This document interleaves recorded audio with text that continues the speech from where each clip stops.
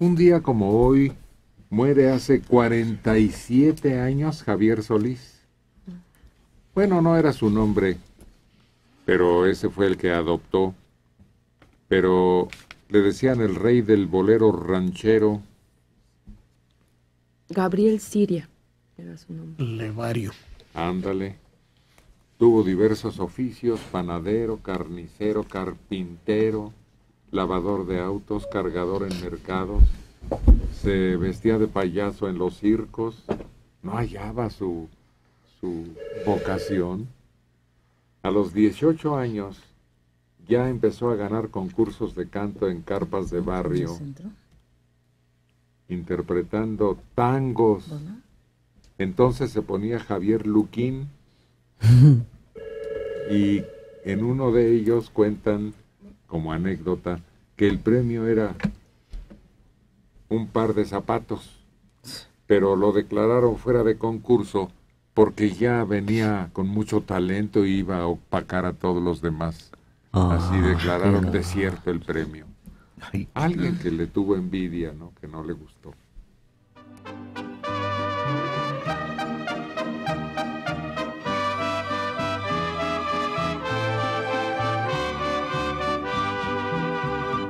Quisiera abrir lentamente mis venas, mi sangre toda, verterla a tus pies, para poderte demostrar que más no puedo amar y entonces morir después. Y sin embargo, tus ojos azules, azul que tiene el cielo y el mar, viven cerrados para mí sin ver que estoy aquí, perdido en mi soledad. Estábamos hablando de la conmemoración de, de Javier Javier Solís, Solís. que creció en Tacubaya, terminó apenas con trabajos la primaria debido a la muerte de su madre adoptiva. Y ni modo, pues, a chambear, panadero, carnicero, carpintero, cargador en los mercados. A los 18 años empezó su carrera, pero apenas tentaleando. La admiraba a Pedro Infante por lo que los eh, directivos de, de la compañía en donde entró a grabar le hizo que poseía todas las capacidades para imponer un estilo, pero propio. Era muy tímido, sobre todo con las mujeres, cuentan. Una situación, origen humilde que siempre quiso ocultar. Sin embargo, se casó cinco veces, Mira qué tímido. Qué penoso. Le llaman tímido. de donde nacieron nueve hijos. No, hombre. Todos tímidos. Conoció a Julio Rodríguez, integrante de Los Panchos, que lo recomendó para una compañía grabadora y ahí fue donde cambió su nombre. Una vez que afianzó su estilo, grabó gran número de boleros rancheros que consisten en una canción ranchera abolerada, dice aquí. Sí. Y él se presenta en el funeral de Pedro Infante y, y aparece en la película Si era Pedro Infante, vestido de charro, y canta, creo que parado en el cofre de una de las camionetas que estaban ahí. Canta una canción y, y si le ponen atención, ya era un poquito conocido entonces. grabó 320 canciones. Es que no querían desperdiciar el éxito que había tenido.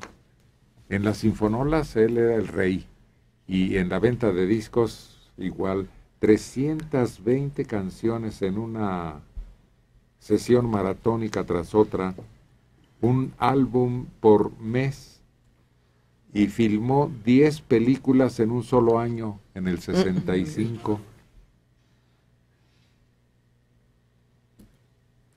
grababa otro éxito, Sombras, cuando batió todos los récords de ventas y mereció una medalla, reconocimiento por su gran calidad y su categoría de vendedor de discos.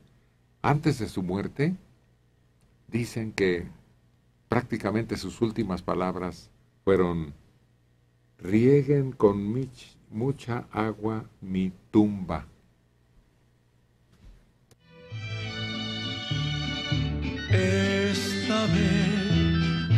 Ya no soporto la terrible soledad.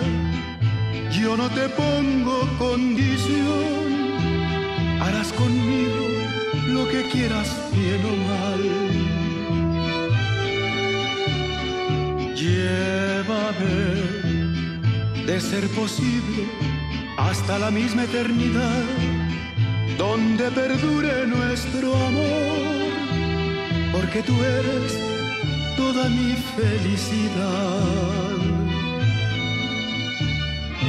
Llévame si quieres hasta el fondo del dolor, hazlo como quieras por maldad o por amor, pero esta vez quiero entregarme a ti en una forma total, no con un beso nada más. Quiero ser tuyo sea por bien o sea por mal. Entrevistaban a uno de sus herederos y dicen que se reparten la lana entre 21 personas Pero para todos alcanza. y para todos alcanza. Él quería ser futbolista, pero decía que le ganaba más dando serenata que jugando fútbol. Entonces, como llegaba desvelado, pues por eso se dedica a la cantada, iba dejando el fútbol y todo lo demás. Ahí ganaba dinero, lo contrataron un año en un cuate y le pagó buena lana y se lo llevó un año a trabajar. Y esa anécdota que cuenta Mario es la que lo destapa, ¿no? Porque era un imitador casi perfecto, dicen, de Pedro Infante. Que también fue su problema, su mayor problema. Dicen que fue sometido a una operación de emergencia, pero sencilla, que no tenía mayor riesgo. Y sin embargo, había que poner con algodón humedecido en sus labios que se estaban partiendo resecos con una sed que provocó la misma intervención quirúrgica. Entonces que en un descuido de quienes lo cuidaban, doctores y enfermeras, se levantó, fue a un garrafón donde tenía un mecanismo para dar agua caliente y fría. Agarró un cucurucho, se aventó unos vasos de agua fría, casi helada, y eso le costó la vida. Dicen que él tomaba mucho hielo y mucha agua fría. Tenía esa costumbre. Mucho hielo, Es que- mucha es que ese agua era su fría. problema. Eh, Tenía un problema en el esófago. Y por eso lo operaron. Sí, sí. Pero fue una descompensación de electrolitos que le pasa a la gente que esa que anuncian que tomen mucha agua en el día, eso le pasa a la gente. Tomas mucha agua y los electrolitos cambian de, de carga y entonces tus conexiones empiezan a fallar. Principalmente el cor- el corazón. Es un cortocircuito el que se produce porque hay una descompensación metabólica y en un posoperatorio tú es cuando debes de tener más cuidado. Si en estado normal para los deportistas les recomiendan que dosifiquen todo esto, imagínate en un posoperatorio.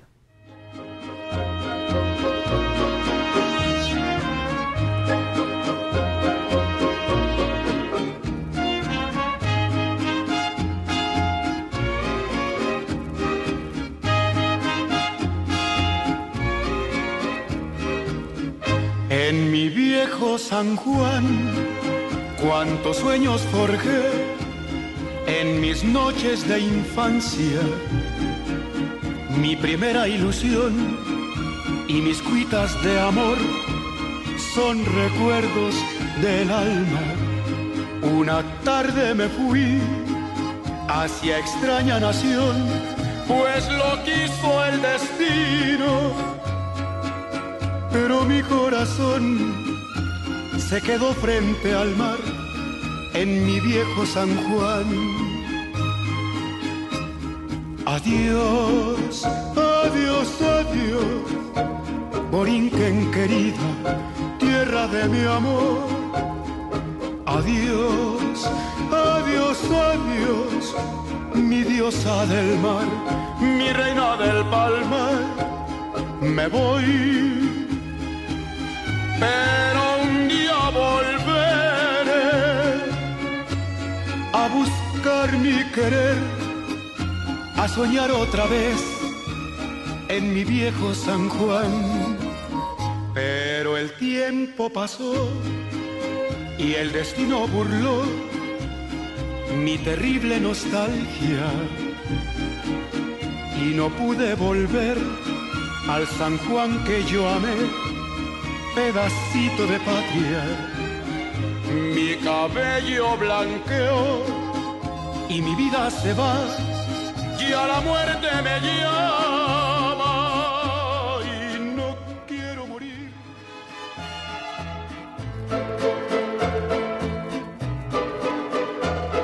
En cofre de vulgar hipocresía ante la gente oculto mi derrota. Payaso con careta de alegría, pero tengo por dentro el alma rota. En la pista fatal de mi destino, una mala mujer cruzó el camino. Soy comparsa que juego con mi vida pero siento que mi alma está perdida.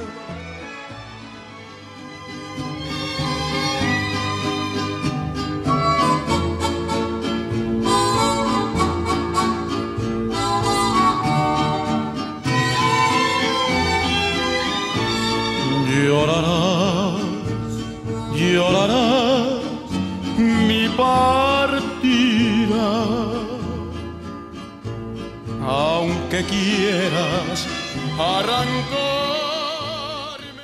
Hay una diferencia muy clara entre él y Javier Solís y, y Pedro Infante.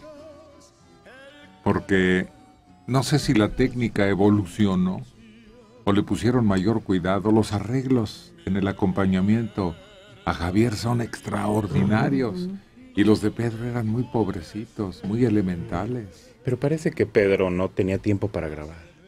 Parece que Pedro llegaba y ya llegué.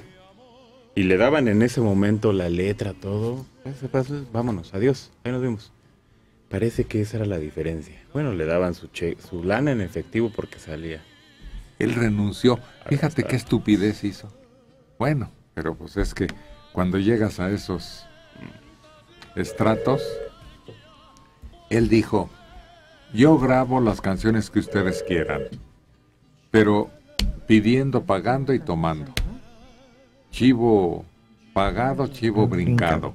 O sea, quería que le pagaran en efectivo inmediatamente después de grabar, según el número de, de canciones que hubiera grabado, y se llevaba su lana para darle en la torre.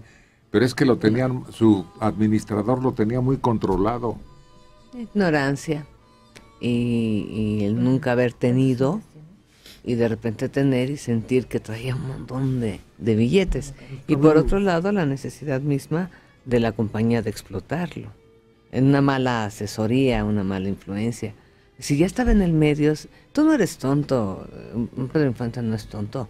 Se da cuenta de la popularidad, se da cuenta de cómo las mujeres lo siguen, se da cuenta de la venta. Oye, un poquito de información, pero no solo era el, el- el no tengo tiempo, era el se puede acabar esto. Con lo que nunca pensó es que se iba a acabar su vida. Es, se me puede acabar este momento de, de bonanza y después qué. Y creo que eso y su, sus múltiples compromisos románticos siempre lo traían viviendo a mil. ¿Y la ignorancia? Es que el dinero no era para él. Pedro Infante no sacaba el dinero para gastárselo él. Él no necesitaba dinero. Él a donde llegara era Pedro Infante. Se podía llevar lo que quisiera. Era para repartirlo Fíjate. entre todos los demás. ¿Él para qué quería dinero?